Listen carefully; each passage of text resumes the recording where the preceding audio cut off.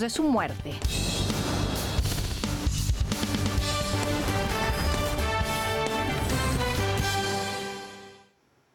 ¿Qué tal? Muy buenas tardes. Soy Ana Paula Ordorica, lista para darle los detalles de las noticias más importantes de hoy, que es jueves 11 de marzo del 2021. Estamos a las 3.